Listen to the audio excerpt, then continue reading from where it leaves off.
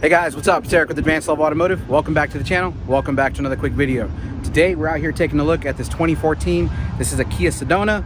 Uh, the issue with this vehicle is that the owner lost her keys. And so I think what happened was uh, they stole her purse. Her keys were inside of the purse. And so now she's worried that somebody out there has her keys and she doesn't want them being able to open the door start the vehicle up and of course either get in there steal something or steal the vehicle itself. So the plan today is that we're going to be rekeying these locks. Basically what i'm going to do is i'm going to make sure that the original key no longer works. Now she actually had an extra key so we do have a working key for this vehicle but again she doesn't want that key uh, to be able to open or start the vehicle anymore. Now this is a Kia and if you guys didn't know the Kias don't have any transponders in the key so uh, there's no programming involved in this. Basically what we're going to do is we're removing the ignition lock cylinder and the door lock cylinder on the driver's side.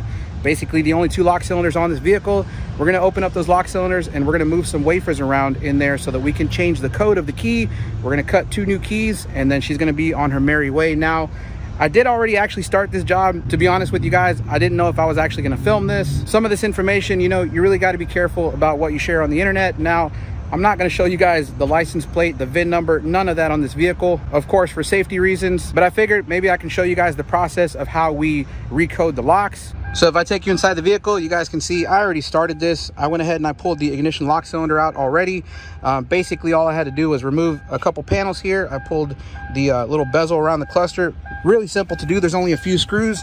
And this one, the ignition is actually in the dash right here. Uh, but it was really no biggie. There's a little hole up here at the top um, it's hard to see, but basically there's a hole right there. And what you got to do is you got to put the key in the accessory position or on position. That's going to allow you to put a little pick tool into the hole at the top of the lock cylinder so that you can remove it. So over here in the back of my truck, you guys can see that I already have the lock cylinder pretty much disassembled.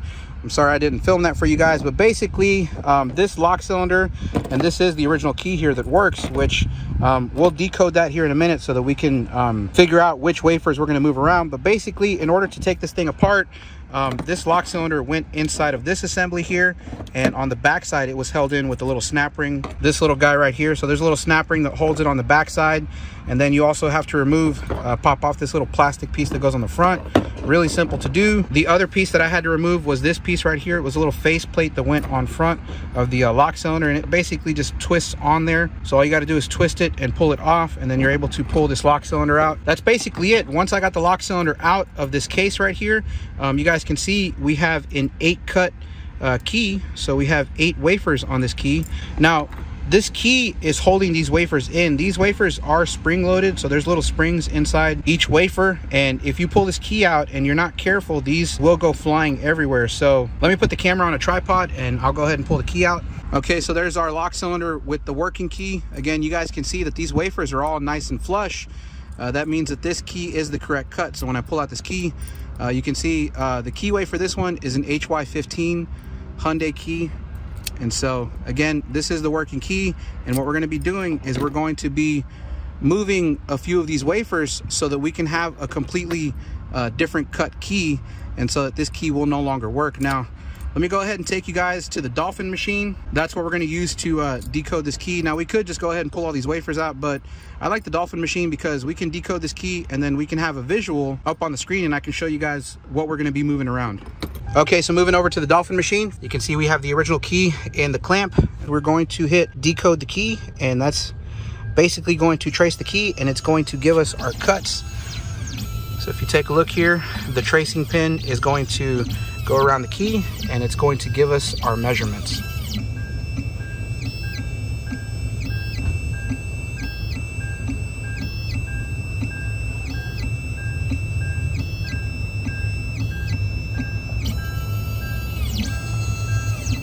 Okay, let's go ahead and take a look at the results. All right, guys, so up here on the screen, you can see we have our decoded key.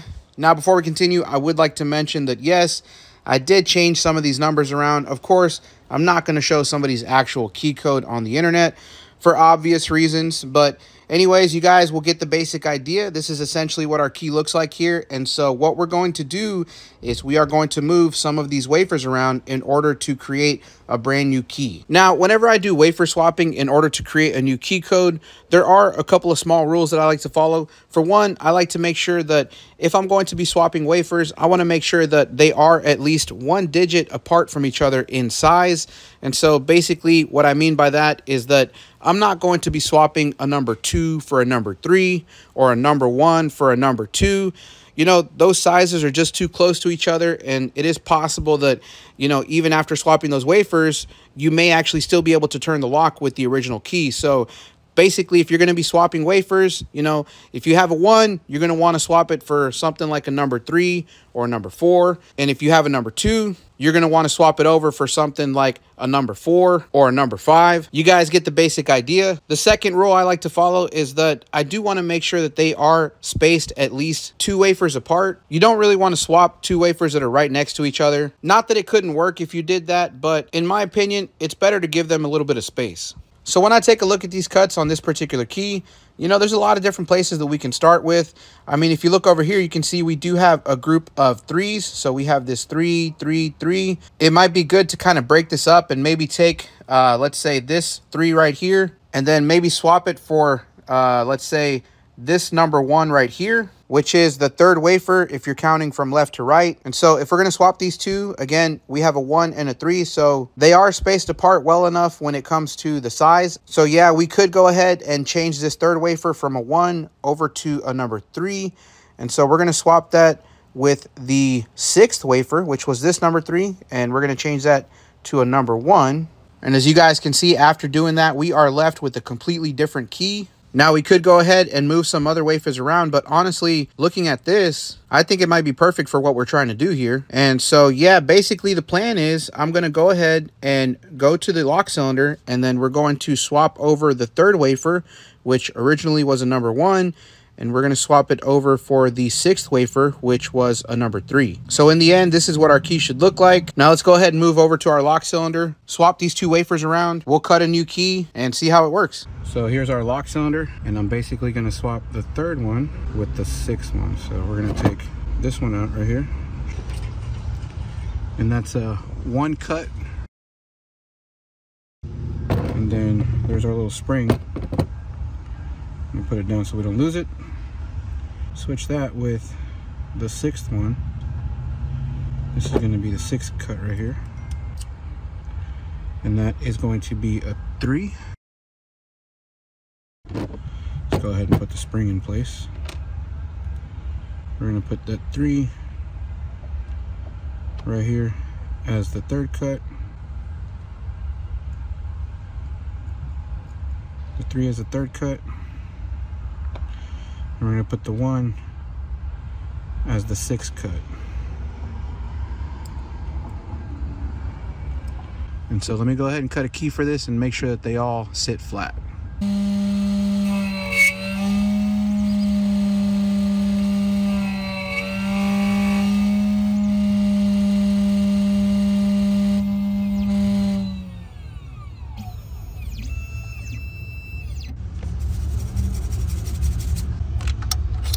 So here's our new freshly cut blade. And right now in the lock cylinder, we have the old key. So as you guys can see, the third wafer and the sixth wafer are sticking up. They're not flush. So this key will not turn the lock anymore because we swapped out those wafers. So now I'm gonna pull this old key out and then we're gonna stick our new freshly cut key into the lock cylinder and we're gonna see if these wafers are flush. Check it out. You see how nice and flush these are? That's what we want to see. So now we have a completely different key. Okay, so now that we have a working key, I'm gonna go ahead and reassemble this lock. Just gonna go ahead and slide this back into the case. Okay guys, so real quick, let me show you how I was able to get uh, this piece off of the front of the lock cylinder because uh, it can be a little bit confusing uh, trying to figure out how to get it off and also get it back on. So uh, basically, you guys can see it's got these little kind of hooks and so it's meant to be twisted off and so uh, to get it back on let me show you we're going to push this whole assembly kind of forward inside of this uh, this outer piece. So we're pushing the inner piece out. We're not pushing the lock cylinder out. This is staying in. I haven't put the snap ring in yet, but I'm not gonna push on the lock cylinder. I'm basically just pushing on the outside here. And then you can see we have some notches. And then if you just, uh, you know, remember the orientation of how this went on there because it's got these little marks on there. And basically you just kind of put it back on. So we're gonna get it to line up. We'll push it in there Oh, my lock cylinder came out a little bit. Again, I didn't put the snap ring in there, so that was my fault. Well, let me show you real quick. In order to push the lock cylinder in all the way, uh, this little arm right here, you want to lift up on that, and that's going to release the tension on this rod. I'm sorry, my bad, scratch that. Don't push this lever up, push it down. My bad, I'm sorry, I don't know what I was thinking. I think it's because I'm trying to look through the uh, through the camera here when I should be looking at what I'm actually doing. So yeah, push down on this lever and it's gonna release the tension on this little tab right here, and that's gonna allow you to push it in. And so once we release the tension on that, we can push the lock cylinder all the way in. You can see back here, we can fit our snap ring on there. And so I'm not gonna do that just yet. I'll do that in a second. We're gonna push this piece back out and we're gonna slide our little piece back on there and we're gonna hook it. So now it's nice and hooked right there and then we'll push it back in and now it's reassembled.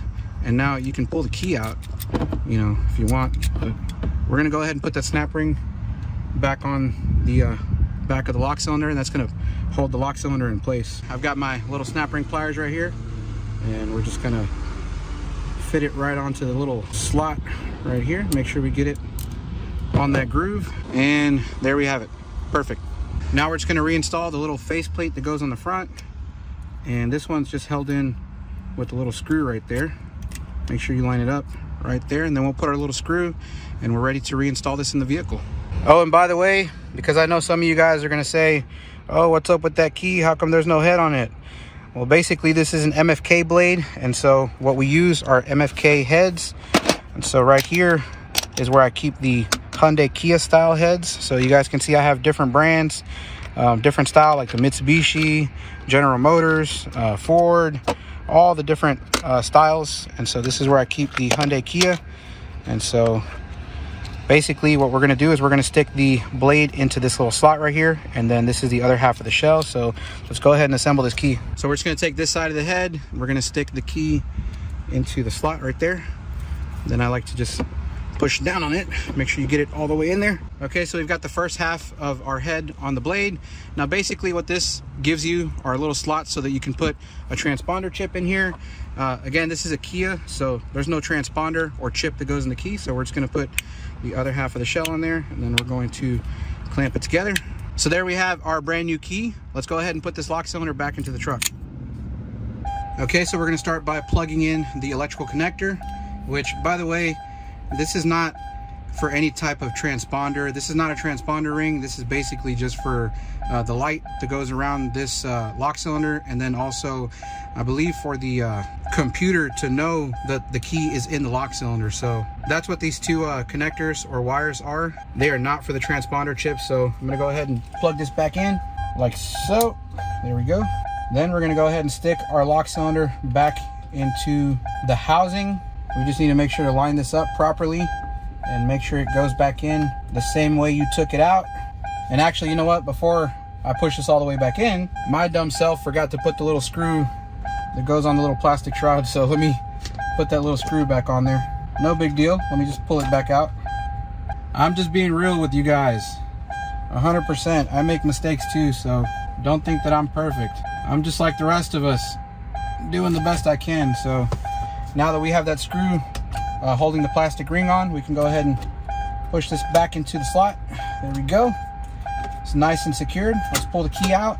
And now let's go ahead and test the ignition. We'll turn the ignition on. So everything's coming on. And then we're gonna try to start the vehicle up. Vehicle starts right up, it runs. Again, no transponder chip in the key, so there's no reason to program it. And now we have a completely different key. So just to show you, this is the original key. We put it in there. I'm gonna try to turn it.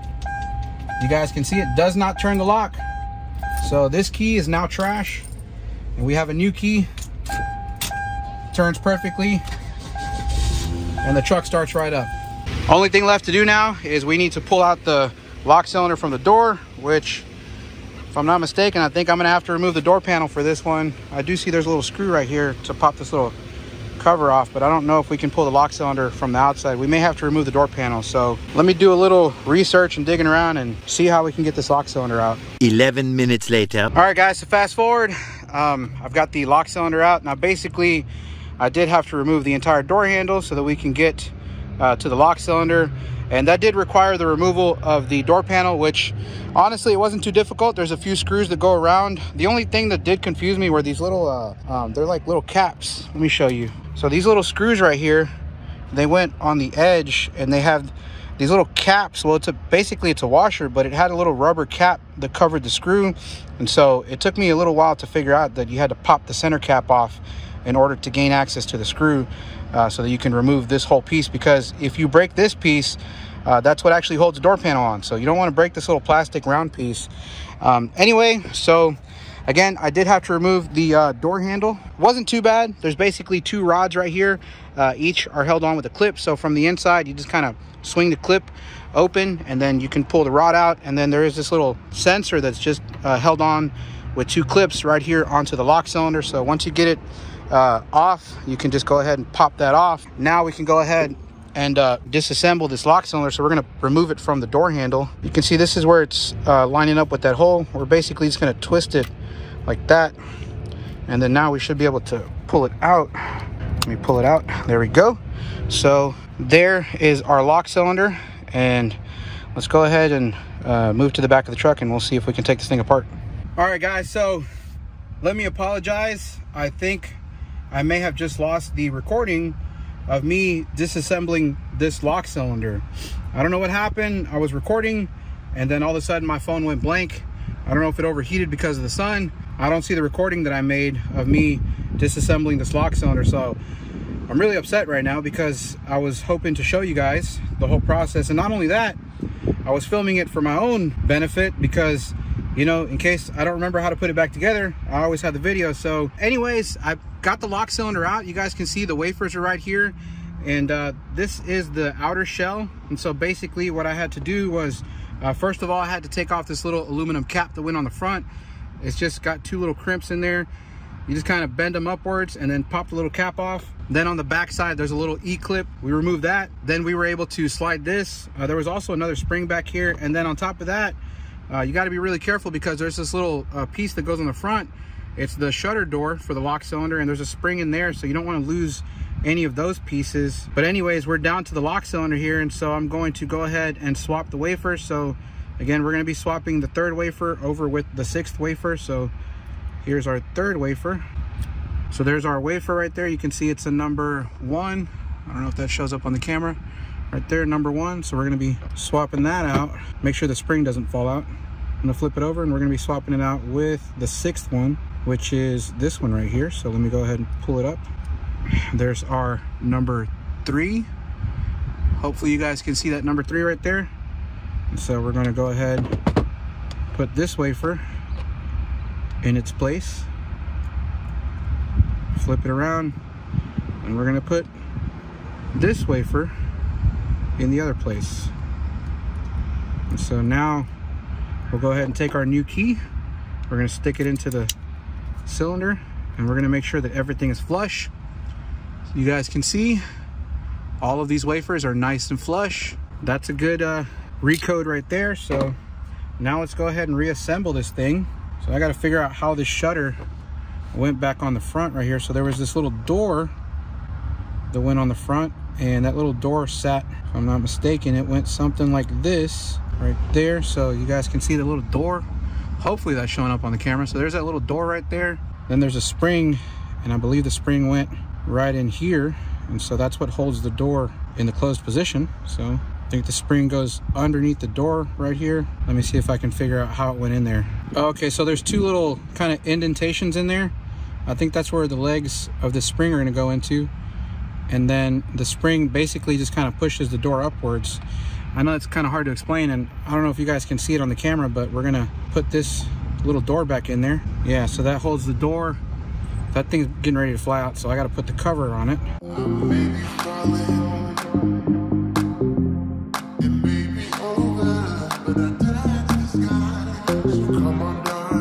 Okay guys, so that was pretty difficult to do. Get this little shutter door back on there correctly. So basically, um, I don't know if you guys could see, but there's a little spring in there and you kind of have to position the spring because, you know, the job of the spring is to really push that shutter door closed. And so you kind of got to be able to get the shutter door on there and then put the cap without it falling apart. And so I guess the best tip that I can give you was the way I finally got it on was instead of trying to put the spring, then the shutter door on top of the spring, and then putting the cap on it or the cover, it's easier to just set the spring in there and put the little door onto the cover and then put the cover with the door on to the, the lock cylinder like together and then line it up and then uh, just kind of crimp it back in place. So hopefully that makes sense. But yeah, next time, uh, just try to not let this thing fall apart because, um, you know, if you don't have to mess with this, it makes this a lot easier and a lot quicker because I would have been done a long time ago if I hadn't run into this problem here. Anyways, let me go ahead and put the rest of this back together. So we're gonna stick this back into the cylinder. Like I said, the lock cylinder goes in this way and then we're gonna go ahead and put our spring on the back side. All right guys, so I've got the lock cylinder put back together. You can see um, the spring is installed and the key is in there and you can see all of the wafers are flat. Uh, anyways, I just need to put this little arm back on the uh, back of the lock cylinder here. I'm sorry, my camera keeps overheating and cutting off on me. So I think at this point, I'm just gonna go ahead and put everything back together, show you the finished product, and then we'll go from there. All right, guys, so I've got everything back together. Now the final test, I've got the key right here. Let's go ahead and stick it into the lock cylinder, and we're gonna lock the door. So right now, whoop, wrong way, sorry. door locks this way, my bad.